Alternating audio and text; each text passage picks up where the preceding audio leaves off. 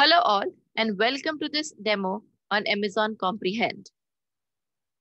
Before we continue further ahead, I would like everyone to know that all texts used in this demo are for reference purposes only, and I do not own or claim copyright for them. Prerequisite for this demo is knowledge of Amazon Comprehend. So in case you are not aware of what this service is all about, please refer to this overview tutorial that I had created some time back. Link to the tutorial is mentioned right there at the bottom. This is Amazon Comprehend, right? So this is the landing page if you come here. And we have two versions for this, right? So we have the regular version and the medical version. So let us begin this demo with the standard version of Amazon Comprehend. So click on Launch Amazon Comprehend. And that's what brings you here. So what are we going to do today? We are going to analyze a few pieces of text. So the first text that I have for today is a letter of recommendation. And this is the letter right here. So I'm going to go ahead and copy it. Right. And then I'm going to go here. I'm going to say that I want to analyze this piece of text. Right. And I'm going to use the built-in analysis. I'm going to copy this text right here. So this is a sample text that you see. Right. So if you go to your Amazon Comprehend landing page, you will see the very same text that you are seeing right now. So I'm going to delete this text and copy our text right here. And then click on Analyze. So let's see what are the results for this particular text. So it shows us that there are a few entities, which is good.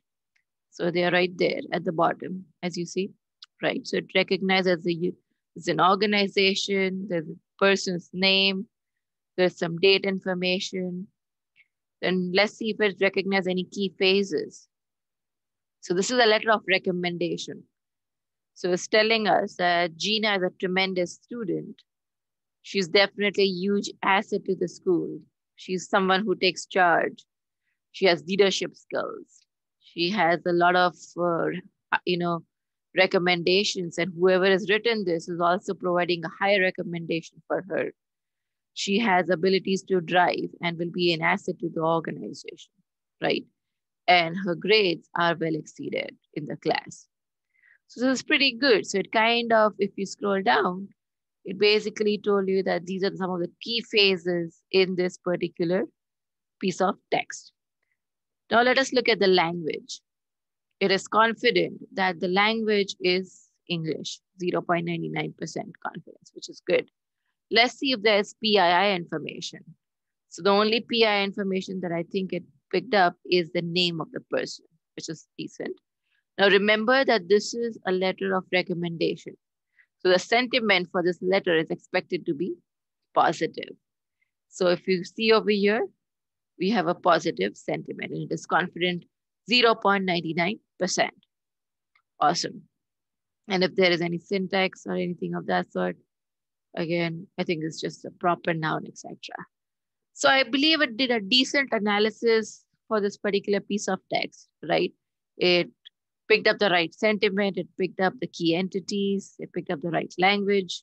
There's not much of PII, but it did pick up some of the key phrases that were present in this particular piece of text.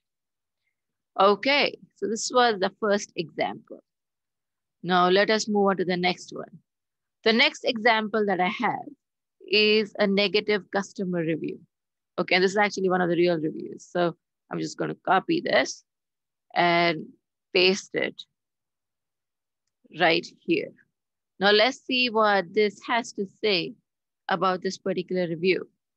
So click on Analyze. And let's see what it has. Does it have any entities? So it does not have any entities. right? because I, I removed some uh, critical information. Key phrases. So it does say it's the worst customer service, they need to be shut down. She's going to contact for non-authorized charges, you know, the bank, or maybe make a claim over there. What's the language? It's English. That's decent. is there any PI information? There is no PI information because I removed some of the relevant information from this piece of text. Let's look at the sentiment. Now remember that this is a negative feedback and what we're expecting is a negative sentiment. So it is, it is positive or it is confident that it is a negative sentiment. And if there is any syntax, let's see, uh, just a few adjectives, nouns, etc., which is decent. So I guess it did a decent analysis for this particular piece of text. Okay, so these were two standard texts that I had. Now what I'm going to do is I'm going to go back to comprehend and we are going to leverage this medical version because the next piece of text that I have is actually from a clinical trial report, right? So what you see here right now, this is the default text or the sample text that comes with comprehend. And it will you will also have the same text available to you when you go to your Amazon comprehend medical.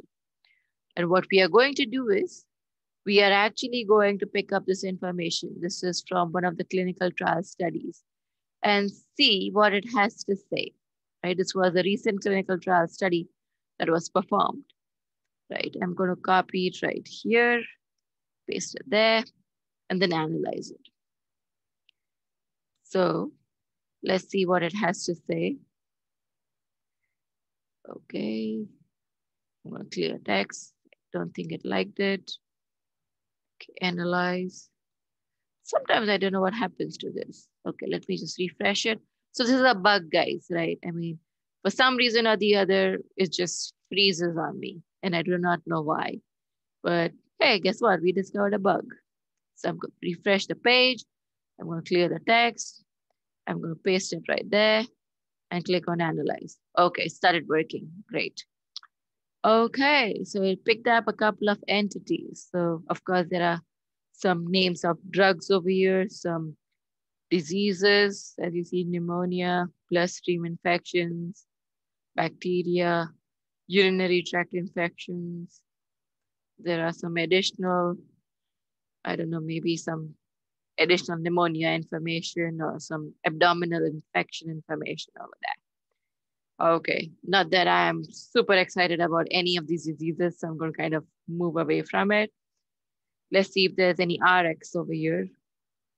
Okay, so we have two RXs. I think these are some two medications that were probably found effective against whatever this particular condition is. And let's see if there are any other ICD con concepts. Again, it's the same thing. These are some of the diseases the names of the bacteria which causes these infections, right?